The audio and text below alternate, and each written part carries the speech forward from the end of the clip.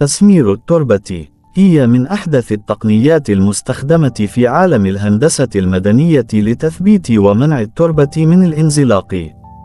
تتم هذه العملية من خلال تعزيز متانة التربة وبوضع قضبان أسياخ التسليح من الحديد لتقوية الوجه الصلب على المنحدرات.